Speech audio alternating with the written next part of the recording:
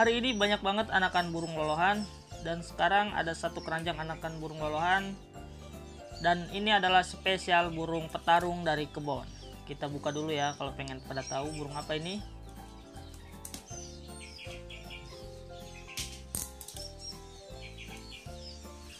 Seperti biasa kita taruh bawah dulu biar biar oke okay lah kelihatannya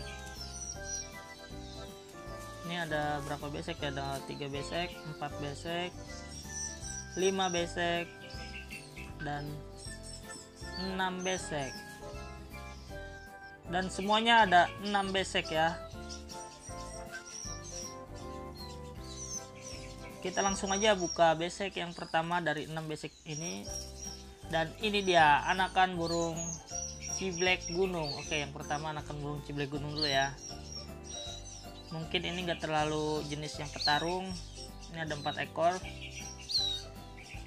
Kita cek ini semua sehat ya. Dan di lima besek ini adalah burung petarung dari kebun ya. Kita buka besek yang ini. Nah dan di sini ada anakan burung ciblek atau Cininin. Nama di kampung saya Cininin. Ini adalah burung ciblek tasik ya Insya Allah terkenal dengan suaranya dan kalau bisa masterin sih. Yang penting kita bisa masterin burung ini dia bakal jadi bagus dan bakal jadi burung petarung yang hebat. Kita buka basic selanjutnya. Wow ini masih kecil. Oh yang tadi ciblek dadanya agak kuning ya. Semi kalau ini ciblek kristal. Nah putih-putih ini ada kuning sedikit ini ada putih ya ini putih. Ini putih. Ini ada burung ciblek kristal.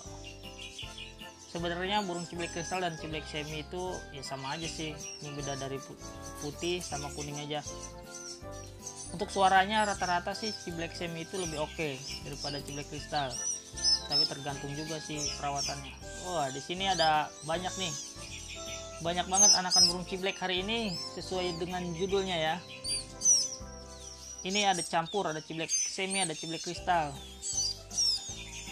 Tapi entah tahu kenapa ya para pemain ciblek itu rata-rata carinya malah ciblek semi karena katanya ciblek semi itu di suaranya lebih kenceng lah atau gimana. Kita juga kurang paham mungkin tergantung perawatan. Dan ini dia aduh terbang dia. Saya ambil dulu ya. Oke di sini ada empat ekor yang udah bisa terbang. Untung gak dimakan kucing kalau dimakan kucing ampun dan ini adalah besek yang terakhir. Kita buka besek yang terakhir ini. Dan di sini adalah sama juga burung. Ciblek kristal dan ciblek semi.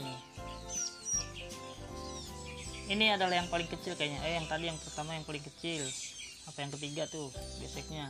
Ini juga agak kecil tapi campur agak gedean untuk kasih makannya sangat gampang kita cukup siapin jangkrik atau pengen lebih gampangnya lagi kita harus beli AMS itu yang harganya 140.000 apa ya satu setengah kilo. AMS handfeed yang yang step satu ya. Oke dan semuanya selesai dan terima kasih.